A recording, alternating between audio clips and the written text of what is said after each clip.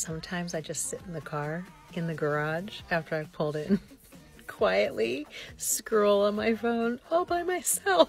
It's wonderful.